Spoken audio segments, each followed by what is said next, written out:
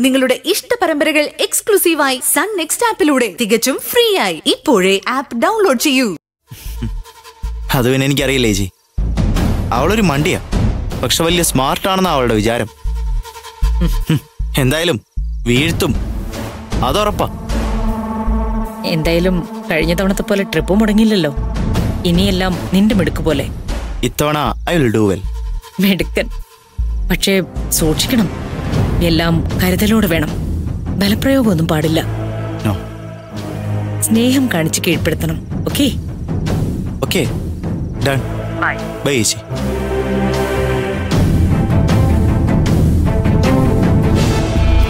ഹേമന്തായിരുന്നു? അവൻ കോയമ്പത്തൂർ പോയിരിക്കുക തിങ്കളാഴ്ച രാവിലെ എത്തും. ആ പിന്നെ ദേവേട്ട ഷാർജയിൽ ബിനോയ് പിള്ള വിളിച്ചിരുന്നു. ഒരു വിധത്തിലൊക്കെ ഞാൻ പറഞ്ഞ് സമാധാനിപ്പിച്ചു. ഒരാഴ്ചക്കകം എന്തായാലും സെറ്റിൽ ചെയ്യാന്ന് ഞാൻ വാക്ക് കൊടുത്തിരിക്കുക എന്താ ഒരു വഴി? നീ വിഷമിക്കണ്ട. ഇന്ന് തന്നെ ഞാൻ സുനന്ദയുടെ ഷെയർ തിരിച്ചു വാങ്ങിക്കും നാളെ ദേവ ഗോൾഡ് ആൻഡ് ഡയമണ്ട്സിന്റെ അൻപത് ശതമാനം ഷെയർ നിന്റെ പേരിലാവും പ്രവി. അതാണ് അയാൾക്കുള്ള ഗ്യാരണ്ടി എങ്കിൽ നീ ധൈര്യമായിട്ട് വിളിച്ചു പറഞ്ഞു. അച്ഛനും അമ്മയും വല്ല എതിർപ്പും പറഞ്ഞാലോ? ഏയ് എന്റെ ബിസിനസ് കാര്യത്തിൽ ഇന്നുവരെ അച്ഛനമ്മ ഇടപെട്ടിട്ടില്ല അതെല്ലാം എന്റെ പേഴ്സണൽ കാര്യങ്ങളല്ലേ?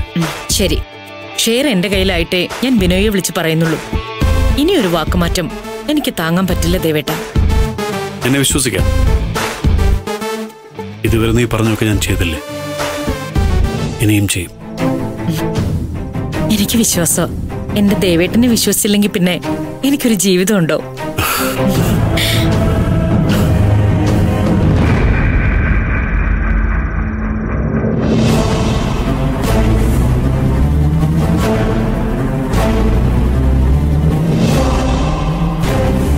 ജീവിതം ഇല്ലാതാവാൻ പോകുന്നത്. നിനക്കടം മഹാദേവ.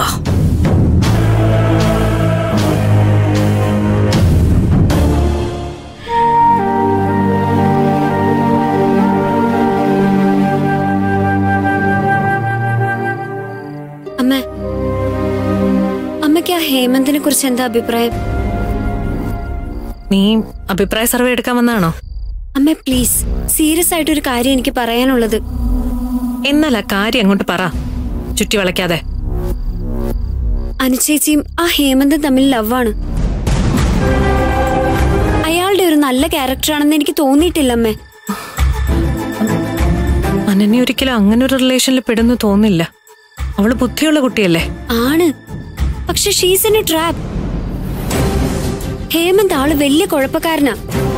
അനുചേച്ചിക്ക് ആപത്ത് വരുന്നു മുൻകൂട്ടി മനസ്സിലാക്കിയ അത് തടയേണ്ടത് അമ്മയുടെ കടമയല്ലേ?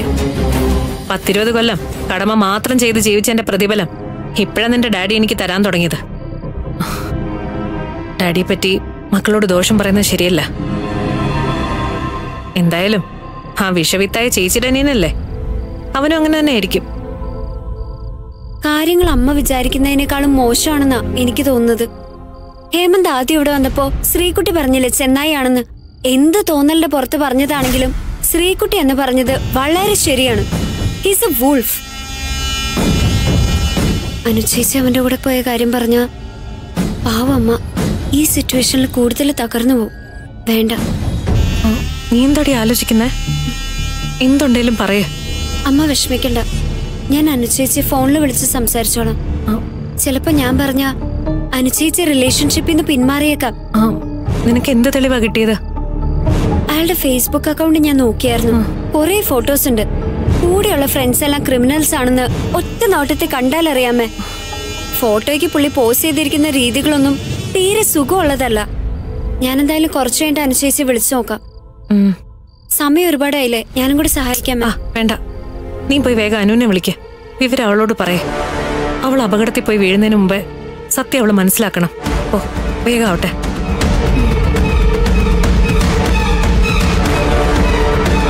ഭഗവതി എന്താ ഇങ്ങനെയൊക്കെ?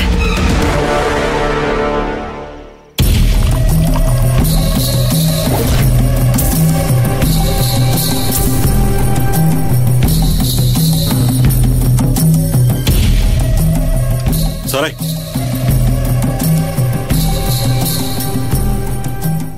സാറേ കഴിഞ്ഞ മൂന്ന് ദിവസമായിട്ട് ഞാൻ ആ കുട്ടിയുടെ പുറകിലുണ്ട്. കാലത്ത് വീട്ടുമുറ്റത്ത് നിന്ന് കാറി കയറും. സ്കൂൾ മുറ്റത്ത് ചെന്നിറങ്ങും. വൈകിട്ട് സ്കൂൾ മുറ്റത്ത് നിന്ന് കാറി കയറി വീട്ടുമുറ്റത്ത് ചെന്നിറങ്ങി. ഇതിനിടയിൽ എവിടെയും വിജനമായ ഒരു സ്ഥലം പോലുമില്ല. ആരാ കുട്ടിയുടെ കൂടെ?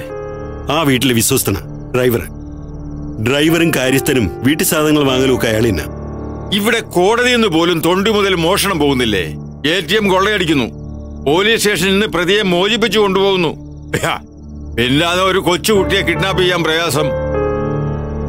ആ ഡ്രൈവറെ ഒറ്റ അടിക്ക് വീഴ്ത്തിയിട്ട് ആ കൊച്ചിനെ എടുത്തോണ്ട് പോരെ. ചെയ്യാം സാറേ. പക്ഷെ എവിടെ വെച്ച് ചെയ്യും? ആളൊഴിഞ്ഞ സ്ഥലമില്ല. വീട്ടിലെത്തിയാലേ ഏറ്റു തുറക്കാൻ വേണ്ടി ആ ഡ്രൈവർ പുറത്തിറങ്ങാറുണ്ടോ? ഉണ്ട്. ഗേറ്റിലേക്ക് വണ്ടി പാതി തിരിച്ചു നിർത്തിയിട്ടാ ഗേറ്റ് തുറക്കാറ്. അതാണ് അവസരം. നമ്മുടെ ആൾക്കാർ ആ സമയത്ത് അവിടെ ഉണ്ടാവണം. നീ അവിടെ പോകരുത്. കുട്ടിയെ കിഡ്നാപ്പ് ചെയ്തതിന് ശേഷം ഹോസ്പിറ്റലിന്റെ അടുത്ത് വെയിറ്റ് ചെയ്യുന്ന നിന്റെ അടുത്ത് ഏൽപ്പിക്കാൻ പറയണം. ശരി സാർ. ഏ അപ്പോഴത്തേക്ക് ചിറ്റിയിൽ പോലീസ് അന്വേഷണം തുടങ്ങിയിട്ടുണ്ടാവും. എല്ലാം കരുതലോടെ വേണം. കുട്ടിയെ കിഡ്നാപ്പ് ചെയ്ത് കഴിഞ്ഞാൽ ഉടനെ മയക്കിക്കോണം. മരിക്കാൻ നോക്കണം. ബാക്കി കാര്യം കുട്ടി നമ്മുടെ കയ്യിൽ എത്തിയതിന് ശേഷം പറയാം. ശരി സാർ. ഉം,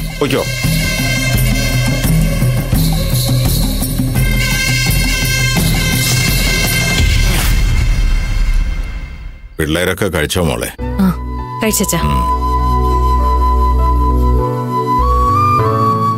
സുനന്ദേ നീ വേഗം കഴിച്ചിട്ടോ ഒന്ന് രണ്ട് പേപ്പേഴ്സ് ഒക്കെ സൈൻ ചെയ്യാനുണ്ട്? എന്താടാ ഫയലിൽ? ഓ, അതെ ഒന്ന് രണ്ട് ലീഗൽ പേപ്പേഴ്സാ ഓ അത്യാവശ്യമുള്ളതായിരിക്കും. ആ അതെ അതെ അതെ. എന്തായാലും നീ ഞങ്ങളോട് ഒന്ന് പറ. ഒന്നുമില്ലെങ്കിലും നിന്റെ അച്ഛനും അമ്മയല്ലേ ഞങ്ങൾ? ഓ അതൊന്നും നിങ്ങൾ അറിയേണ്ട കാര്യമൊന്നുമല്ല. എന്ന് വെച്ചാ നീ പറയില്ല. പക്ഷെ എന്താന്ന് ഞങ്ങൾക്കറിയാം. നീ ബിസിനസ്സിൽ സുനന്ദയുടെ അവകാശം വാങ്ങി ആർക്കാ കൊടുക്കാൻ പോകുന്നേ? ഓ അപ്പൊ എല്ലാം പറഞ്ഞു കഴിഞ്ഞു അല്ലേ പക്ഷേ ഞാൻ ജ്വല്ലറി ഷോപ്പിന്റെ മുപ്പത് ശതമാനം ഇവളുടെ പേരിലാക്കിയത് പതിനഞ്ച് കൊല്ലം മുമ്പാ. എന്റെ കടങ്ങൾ തീർക്കാൻ ഇപ്പം എനിക്കത് ആവശ്യമുണ്ട്. അതിൽ എനിക്ക് ശരിക്കും എഴുതി തന്നത് വിൽപ്പന കരാറാ. മുഴുവൻ ഷെയറും എന്റെ പേരിൽ തന്നെ വേണം. നീ എങ്ങോട്ടാ പോകുന്നെന്ന് വല്ല ബോധമുണ്ടോ നിനക്ക്? ബോധമില്ലാത്ത ഇവൾക്കല്ലേ?